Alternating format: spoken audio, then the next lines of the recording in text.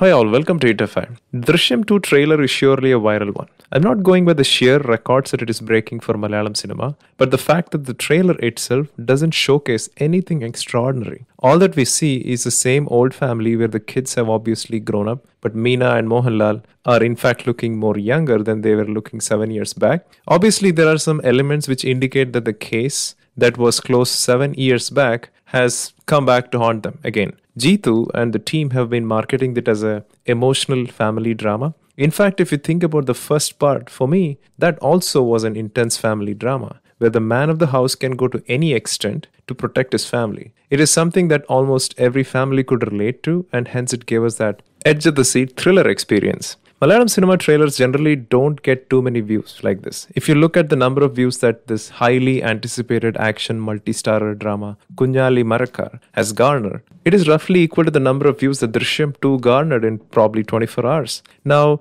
coming to the meat of the topic, the script and the storyline of first Drishyam has reverberated with almost all movie watchers in India. The reason being that most bankable stars of Tamil, Telugu, Kannada and Hindi played the lead roles in remakes and more importantly, all of them were phenomenal successes in those industries.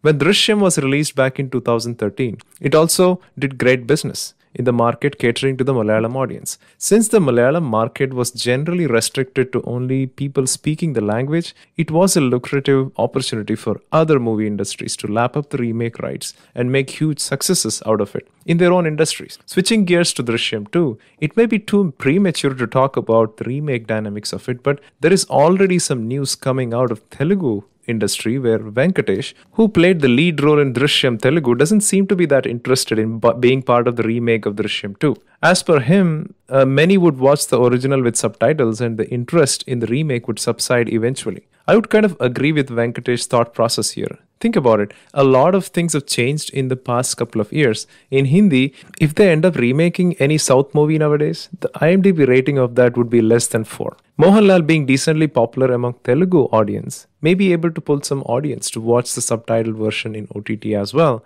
Now this is the current status quo and things may change in future depending on how successful the movie is. What's interesting is that the producer of Hindi remake of Drishyam, Kumar Mangat, has reportedly purchased the rights of Drishyam 2 as well. But uh, we'll need to wait and see if he's able to bring together the entire team as a director who did the remake, Nishikant Kamath, is no more. As for the Kannada remake, I think Ravichandran and team are going to just wait and see how things are going to play out. Possibly end up doing it as the previous one did great business as well.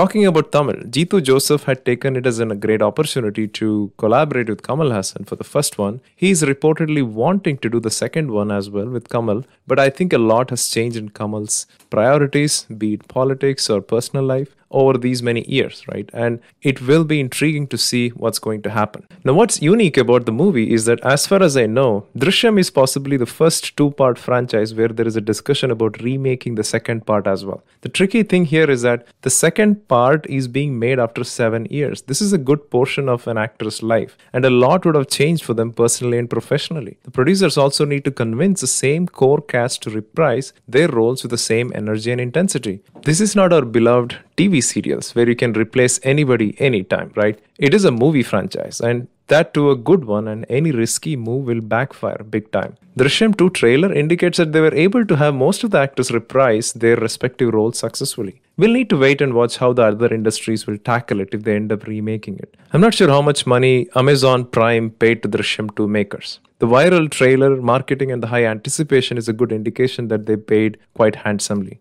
For a relatively smaller industry like Malayalam, remake rights fetch a lot of money. Drishyam possibly made more money selling remake rights than the actual collection from uh, the Malayalam market itself. For Drishyam 2, like what Venkatesh says, let's say there is not much interest in remaking the movie, will the producers end up dubbing it in other languages to expand their market beyond Malayalam speakers? Last year, there was an exponential growth of the number of viewers who were open to exploring content from the languages they are not used to or not comfortable with. Thanks to the subtitles, and the biggest beneficiary of that is the Malayalam film industry itself. We saw the movies like Helen, Kapela, See You Soon, Ayyappanum Koshiyum benefit from it immensely. Friends, as I end this video, while I think the remake should be discouraged, it is important that everyone welcomes the original content as is and embraces it. If the first installation of Drishyam was not remade into other languages, this extraordinary script and screenplay wouldn't have gone beyond the Malayali audience. People, in fact, got more interested in consuming the original content perhaps